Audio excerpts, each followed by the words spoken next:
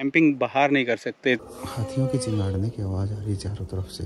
सब लोग पी के पड़े थे और पीछे आया भाई ये तो मुड़ के। गाँव का नाम लिखा या कुछ? ऑफ़ रूट के लिए इससे बढ़िया गाड़ी नहीं हो सकती। एक साइकिलिस्ट को शेर खा गया था।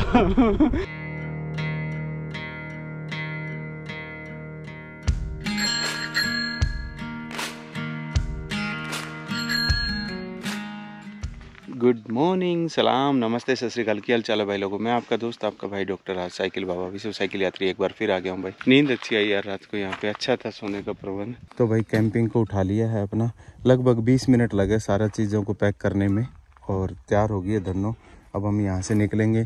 पहले वहाँ पे चाय, कॉफ़ी पियेंगे कोई। यहाँ पे रेस्टोरेंट है अंदर ही तो वो भी दिखाता हूँ। ये जो दोनों हैं, टॉयलेट है और इधर मेल वाला, उधर फीमेल वाला, उधर बर्तन धोने की जगह भी बनाई हुई है इन्होंने।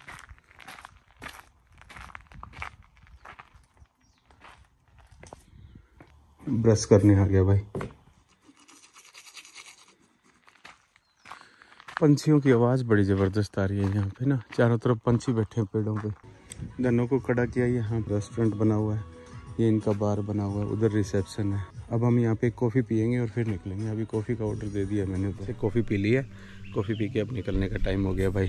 थोड़ा लेट हो गया हूँ, साढ़े आठ हो गए भाई, हम तो यूँ ही कहते हैं कि हमने वैनिटी वैन बना ली है। हम कैरेवान में जा रहे हैं ट्रैवल करने में। इंडिया में भी आजकल कुछ ट्रेंड हुआ। वैनिटी वैन तो ये है यार। देखिए एक्चुअली इनका मालिक है नहीं। अदरवाइज़ मैं आपको नीचे से दिखाता ही। और ये देखिए, पीछे टायर देखिए। ये आर्मी वाला ट्रक है मर्सिडीज़ का। और पीछे गैस वैस का सारा अंदर रहने का, सोने का सब अंदर ही है। और ये खुल जाता है। तो ज़िंदगी में कभी मौका मिला तो ऐसी वैनिटी वैन ज़रूर बनाऊँगा यार। जिसको कहीं पे भी खड़ा किया और अपना घर की तरह रहा। पीछे देखिए प्रेशर वो लगा रखे पंप कहीं फंस जाए तो इसको भी निकाला जा सकते। तो ये फोर बाई फोर है, जो कि अलग ही लेवल की है। साइड पानी की टंकी लगी हुई है इलेक्ट्रिसिटी का स्विच लगा हुआ है। क्लास है। इससे बढ़िया क्लास नहीं हो सकती कोई भी। और मर्सिडीज़ का ट्रक है। मतलब ऑफ़ रूट के लिए इससे बढ़िया गाड़ी नहीं हो सकती। ये पीछे गैस सिलेंडर रखा हुआ है सारी अंदर ही सप्लाई है। It was nice time thank you thank you so much और यहाँ पे बहुत सारी गाड़ियाँ खड़ी है भाई। Who is that South Africa okay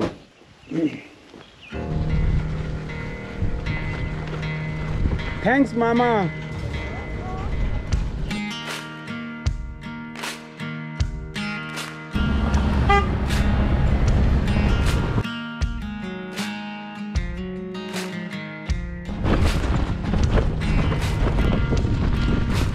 ये जो था प्लेनेट बायोबोब बायोबोब क्या बोलते हैं? जो ट्री होता है उसके नाम पे। और ये इधर देखिए एक सुअर बनाया हुआ है। अब हम वापस अपने हाईवे पे चढ़ गए हैं और इस हाईवे पे एक प्रॉब्लम है। अब कोई ट्रैफ़िक मिलेगा ही नहीं हमें 200 किलोमीटर तक। तो माउंट जो है यहाँ से 205 किलोमीटर है। तो आज तो पहुँचेंगे कि नहीं पहुँचेंगे पता नहीं है। हवा तो अभी फेवर की चल रही है। पर कोशिश करूँगा कि यार माउंट से पहले ही कहीं रुक जाऊँ।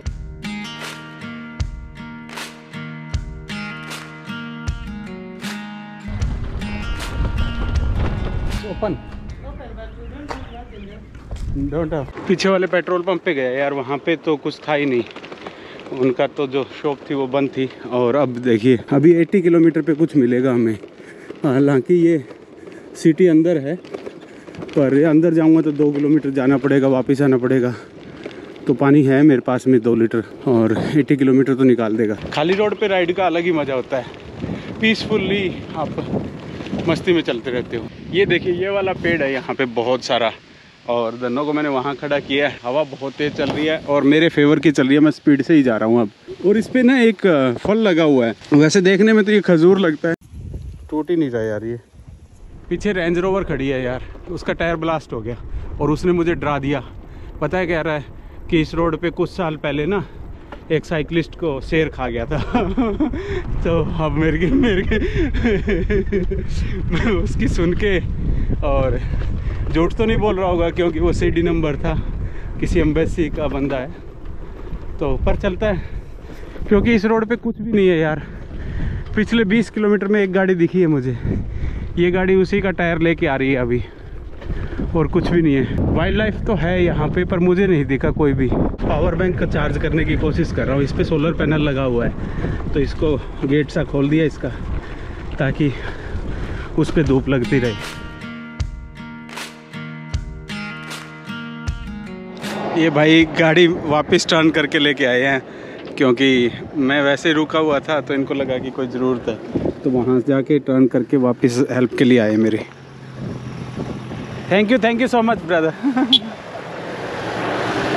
thank you so much तो यार कितनी अच्छी दुनिया है ना। उनको लगा कि मैं कुछ प्रॉब्लम में हूँ तो आई और एक्चुअली मैं क्या कर रहा था कि मैं अपनी जैकेट निकाल के और पोजीशन चेंज कर रहा था। गर्मी हो गई थी तो जैकेट निकालनी ज़रूरी थी, पसीना आ रहा था अंदर। तभी तो कहता हूँ कि दुनिया बहुत खूबसूरत है दोस्तों। तो भाई, इधर एक नेशनल पार्क है। पीछे हम काफ़ी दूर तक, इस साइड में भी एक नेशनल पार्क है। उस नेशनल पार्क के अंदर से ही क्रॉस अंदर तो नहीं कर रखते साइड से क्रॉस करते हुए आ रहे हैं हम। तो यहाँ पे काफ़ी प्लेन एरिया है, जिसमें वाइल्ड एनिमल्स भी हैं। और इस एरिया में भी वाइल्ड एनिमल है। सुबह से लगभग लगभग सेवेंटी किलोमीटर राइड कर चुके हैं। अभी हमें साठ किलोमीटर और राइड करना है। फिर कोई चांसेस हैं कि कोई कैंप साइट मिल जाए अदरवाइज़ कोई कैंप साइट नहीं होगी। ये वाली जो कैंप साइट है ये भी अंदर चल के है सात आठ किलोमीटर पान के बिल्कुल पास में है नेशनल पार्क के अंदर।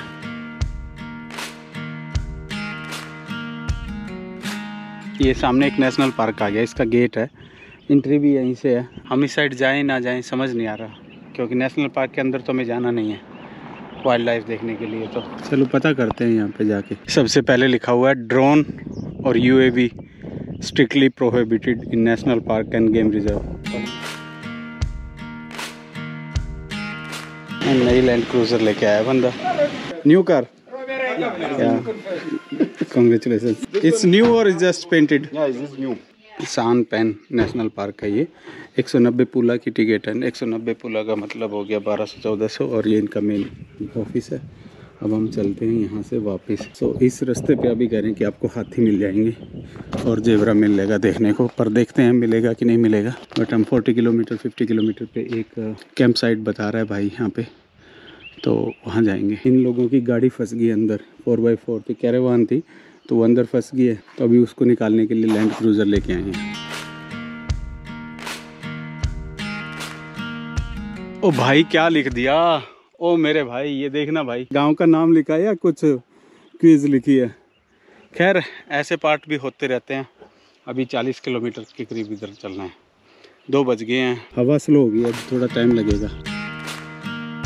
लो भाई, जिस चीज़ का वेट कर रहा था ना, पूरे रोड पे कह रहे थे, हाथी है हाथी है। देखो, ये हाथी खड़ा है यहाँ पे। तो हाथी तो हैं यार यहाँ पे। मैं तो सोच रहा था कि यही मज़ाक कर रहे हैं। रोड के साइड में कोई कोई हिरन बैठी होती है, छोटे वाली। टिक टिक और वो जब मैं आता हूँ, पास तो अचानक भागती है, क्योंकि पहले तो उसको आवाज़ सुनाई नहीं देती। पास आती आवाज़ आती है तो भाग जाती है। जेबरा। यहाँ का जेबरा थोड़ा सा लाल रंग का है, और बड़ा भी है, और सामने हाथी खड़े हैं। तो आपको तो दिख नहीं रहा होगा। तो जेबरा तो मैं आगे दिखाऊँगा, हाथी दिखा देता हूँ पहले। पानी था, पानी की वजह से ये सब लोग आए थे बाहर। और पानी पी के और चले गए और मेरे को देख के तो थोड़ा डर गए, क्योंकि साइकिल वाला तो कोई देखने को मिलता नहीं होगा इनको। गाड़ी से नहीं डरे, गाड़ी खड़ी थी पहले पूरी फैमिली है, कम से कम दस बारह होंगे। भागे डर के। इधर देखो और भी ज़्यादा बहुत सारे यार ये तो। मिट्टी उड़ा दी इन्होंने तो। ये भाई साहब अकेले पानी पीने आए हैं। हम जो है नेशनल पार्क के अंदर से चल रहे हैं।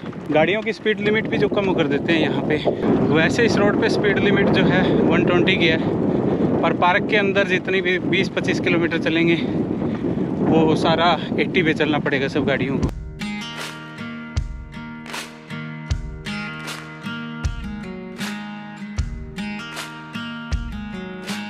ये देखो कितने खड़े हैं। पानी पी रहे हैं। मेरे से देख के बड़े डर जाते हैं ये। अरे बाप रे, बहुत तेज़ भागे जा रहे हैं बेचारे। ये गाड़ी और मुड़ के आ रही है, पीछे से पता नहीं कौन है। इसने लाइट बंद वो करी थी। तो मैंने रोक ली। पता नहीं अब कौन है, क्या है। हाँ तो रहे हैं। और पंछियों की आवाज़ देखी चहचाने की। भाई बोला कि एलिफेंट क्रॉस करने के लिए आया था, मैं आपको एलिफेंट क्रॉस करवा दूँ। यार कितने हेल्पफुल है ना, मोड़ के लेके आया गाड़ी को। थैंक यू यार।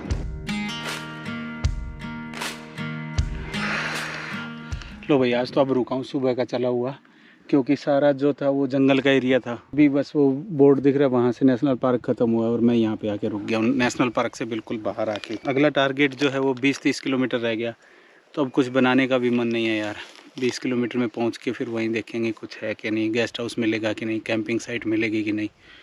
तो लेट्स सी क्या होगा अच्छा ही होगा, जो भी होगा। इन दोनों को डंडे पे के सारे खड़ा किया ये गुजराती मिक्सचर है मेरे पास में। ये थोड़ा सा खाता हूँ, फिर चलता हूँ भाई। जो भी गाड़ी आ रही है, रुक के जा रही है कि आगे आती है। कितने केयरिंग है यार ये लोग। मज़ा आता है। वो खड़े, देखो, दिख भी गए लो मिट्टी और पानी से खेल रहे हैं अगले।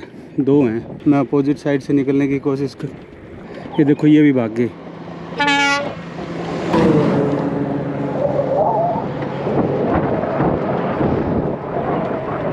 ये देखो, आया। वो! पीछे आया भाई ये तो मुड़ के। नया स्टेट शुरू हो गया यार। और इस स्टेट में पता है रोड बड़ा मस्त आया। पता है कैसे? क्योंकि ये, देखिए तारकोल पूरा डाला हुआ है।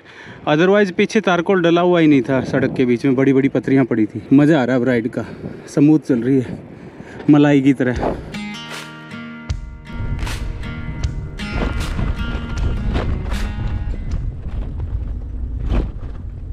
लो भाई हमारे साथ एक पंगा हो गया। अब यहाँ से जो है माउंट जो है 90 किलोमीटर है। और 90 किलोमीटर अब हमसे राइड होगा नहीं, क्योंकि ऑलरेडी पाँच बज चुके हैं। और गेस्ट हाउस कोई दिखा नहीं रहा। तो अब ऑफ़ रूट जाना पड़ेगा हमें। इधर जो हाईवे जा रहा है उस पर वहाँ पे हमें गेस्ट हाउस दिखा रहा है एक। अभी देखते हैं, कुछ पूछेंगे किसी से। कोई कैंपिंग साइट कोई गेस्ट हाउस कुछ नहीं दिखा रहा। तो पाँच छः किलोमीटर अंदर जाना पड़ेगा। तो कल फिर 90 किलोमीटर से करके हम माउंट पहुँच जाएँगे। माउंट वो जगह है जहाँ पे दुनिया का सबसे बड़ा डेल्टा ख़त्म होता है। शुरू नहीं होता खत्म ख़त्म होता है। आवाज़ भी स्पीड पकड़ के आवाज़ भी तुतला जाती है। अब इधर मुड़ना पड़ेगा।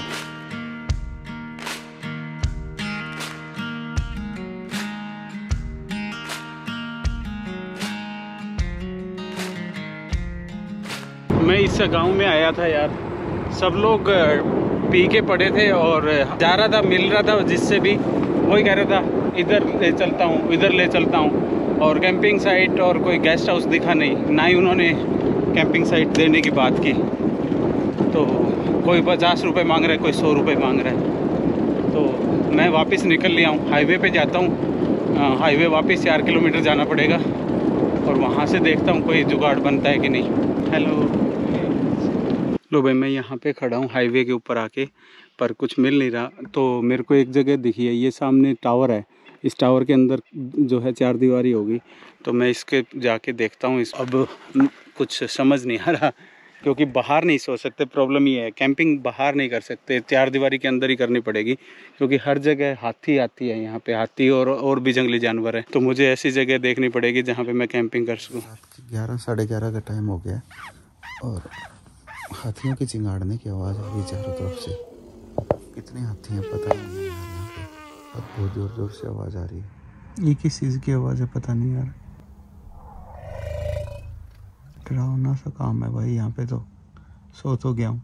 तीन बज गया तो। थोड़ा सा चलना सा होने लग जाएगा है। अभी सनराइज होने वाला है मैं सोच रहा हूँ थोड़ी देर और सो लो अब क्योंकि ठंडी बहुत है, बाहर बाहर टेम्परेचर जो है तीन चार डिग्री होगा। पर रात बड़ी खतरनाक थी।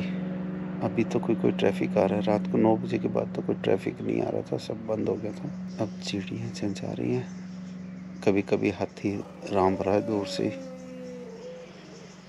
पर अच्छा था एक्सपीरियंस जंगल में सोने का। थोड़ी देर और सोता हूँ।